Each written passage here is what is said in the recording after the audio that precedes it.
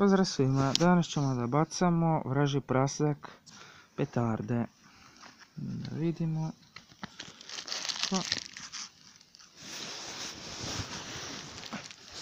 Evo tako to izgleda. Dakle, uzmemo jednu.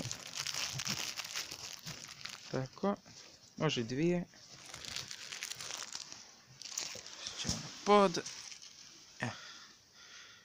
Prvo ćemo baciti. Ne treba ni palit, ni ništa.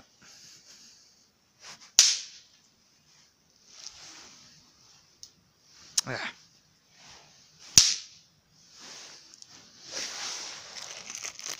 Dakle, tak. Evo.